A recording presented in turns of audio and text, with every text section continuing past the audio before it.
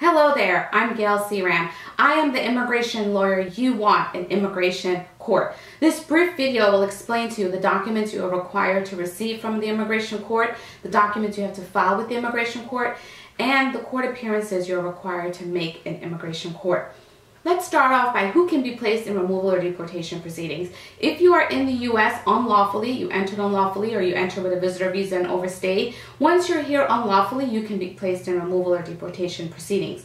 Also, if you're a green card holder or permanent resident, and you have a past conviction, you've been convicted of a crime, and that crime under the immigration laws make you deportable, you can also be placed in immigration proceedings.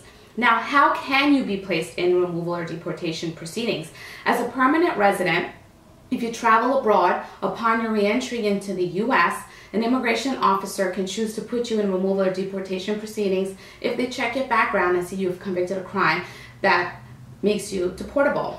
Also, if you're a permanent resident or green card holder and you file a petition, such as renewing your green card or filing for citizenship, an immigration officer, upon reviewing your background, can also choose to put you into removal or deportation proceedings. If you're just here unlawfully, or you're a permanent resident and you encounter law enforcement through a routine traffic stop, maybe a DUI, maybe you're booked into a local jail for a misdemeanor. Upon any encounter with local law enforcement, that officer can also turn you over to an immigration official.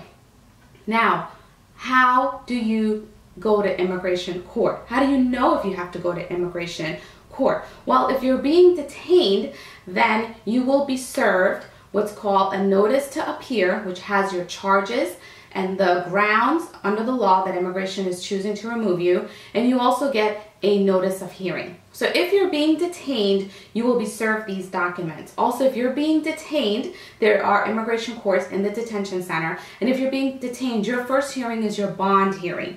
Your bond hearing is where you need to get an immigration lawyer like our office to prepare and file a motion to the judge showing the judge why you should be released and then you can still pursue your immigration deportation proceedings from your hometown and not from a detention center. Now, if you're not being detained, then you will know that you have to go to court because you will be mailed a notice of hearing and you're going to see that in front of you right now, a notice of hearing. This is a sample. You will also be sent a notice to appear. Your notice to appear is a very important document.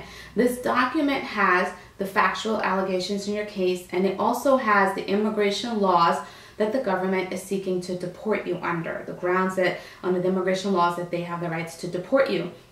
Once you get these documents, you go to your first hearing, which is your master hearing.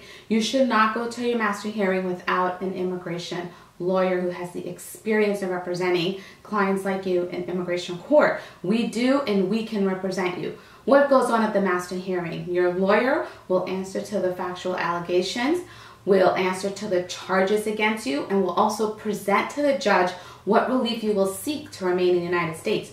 The judge will then give your attorney a set amount of days to file the required documents and motions, which once those documents are filed, your individual hearing will be set. This is your last hearing. During the individual hearing, that's when you will be a witness.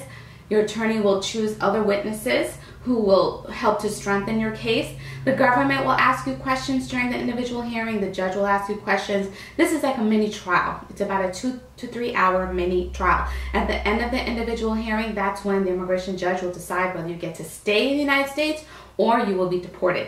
If the judge decides that you have not presented enough facts to remain in the United States and the judge chooses to enter an order of deportation, you do have 30 days to appeal. And our law office will be happy to help assist and prepare an appeal on your case. We've been very successful with appeals.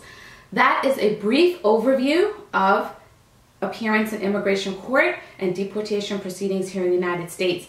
If you are placed in deportation, if you have a notice to appear in immigration court, give us a call at the Immigration Law Offices of Gail Seeram. We have over 15 years of immigration experience representing clients in immigration court and all related immigration matters. We are here to help you and we're happy to help you. Give us a call. Thank you.